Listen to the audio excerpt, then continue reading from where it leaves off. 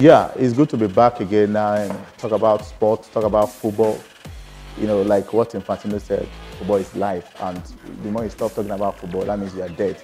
Uh, over the weekend, uh, we saw live actions from the EPL, and we saw what happened over the weekend. A lot of upsets, a lot of heartbreak, uh, a lot of exciting things to talk about. Some things we are weeping, some things we are, you know, we're celebrating. And again, the bigger one is coming up tonight, and uh, it's a battle of supremacy, like I wrote in my article on Business Day.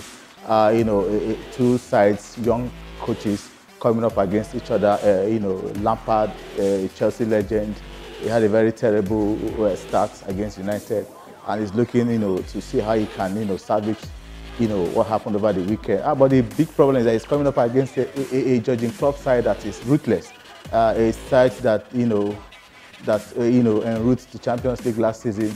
You know, you know they took away a lot of victims, and you know they won it for the first time since 2005. And again, the talking point here is about looking at the two teams, the strengths and the weaknesses.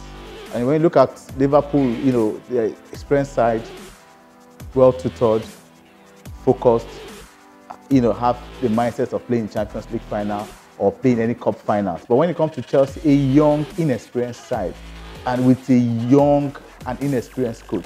I say inexperienced coach, people say he's a coach, but I say coming from Derby County, coaching a side like Chelsea, is not the same requirement, it's not the same job description. You know, coaching a big side like Chelsea, you need to be focused, you need to pay attention to details. We saw what happened over the weekend, just little details. They lost the game woefully.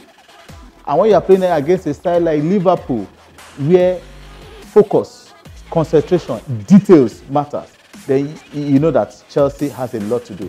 For Lampard, well, for me, it's an acid test for him today, and a lot of fans, especially Chelsea fans, are still hopeful that he's still the right man for the job. But a lot of pundits still believe that uh, uh, it's still a learning curve for him. But again, that will time will tell this night. Let's see what happens. If he's able to, like, you know, conquer Liverpool and win the UEFA Super Cup, fine. Then that means uh, it will spring up confidence back to Chelsea fans. But again, for the fans, I'm sure, like the Chelsea fans, they're like the die-hard fans, very hopeful that ah, this is club legend, has what it takes to win it. But again, look at Chelsea again.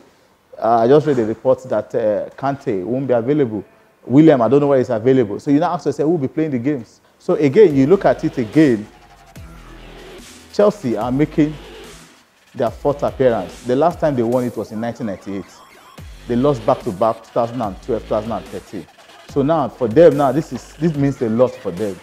And for Liverpool, uh, Liverpool are making their sixth appearance. They won it last in 2005. And for Jurgen Klopp's side, who has tested trophy, he knows what to win trophies. So now he will not want to relent on winning trophies because he has made his mark you know, in, in, in, the, in, in, the, in the list of coaches that are known for winning trophies. But for Lampard, I don't know. But I'm not trying to like play down Chelsea. But I'm looking at the, the, the, the, the the talking points. Uh, Chelsea are like the underdogs tonight. But again, football is a game of upsets and surprises. Anything can still happen. Uh, Christian Pulisic, he showed some signs of, yeah, he can do it.